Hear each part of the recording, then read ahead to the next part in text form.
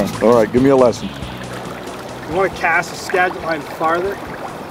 If you put your non-dominant leg forward, that would be the opposite of your top hand on your snap Ts and stuff. You typically cast them a bit farther because you can open up into the D loop too. You know, the guy who can make the biggest D loop has the most powerful cast. Turn this way, you can't open up into it, so you can't make it as big.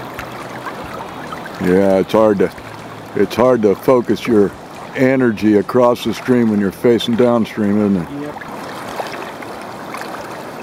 All right, so you're throwing a snap T cast to get your line position. Mm-hmm. Okay, now where do you want that to land? You're landing right there, right? Way out in front, even past the tip of the rods. Not Yep. so much alongside me. I want it way out in front of me. There you go. back. Yep. I can see the sink that drag up next to me, and I know it's in a straight line, straight where I'm going to cast. A lot of times, if we put our anchor in here too close, when we come around, we don't get that. We lose a lot of power that way. If you keep your anchor out in front of you, not only do you throw a more dynamic cast, but it's already driving over the top of itself. The cast is pulling the line out of the water as opposed to trying to pull it out with the tip of the rod. And you just line speed is the key to everything. Line speed is the key to everything, and not allowing the fly to sink very much is also one of the keys, and especially if you have a big fly. Big fly is a fairly big fly here, three and a half, four inches long. Got some rabbit and some eyes on it.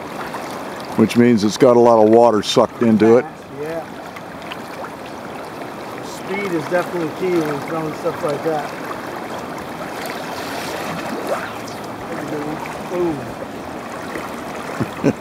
Yeah. Wanted more. Wanted more. When it comes to the end, it goes cut thunk, you know, it's a good one. More places we fish, better we fish them, the better our odds.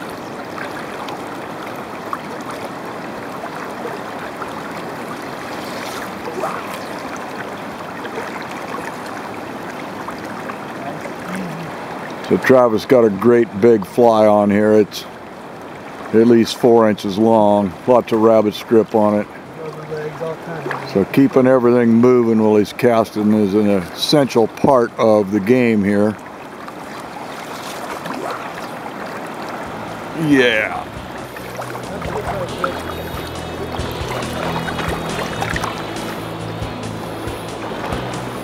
yeah, it is. Oh yeah. He's just, he, that's a that's a that's not a little fish either by the looks of things.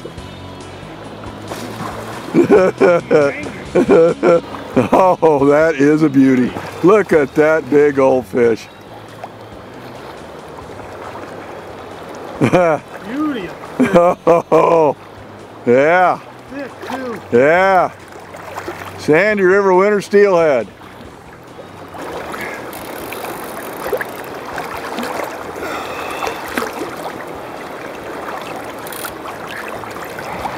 Little hand for sure.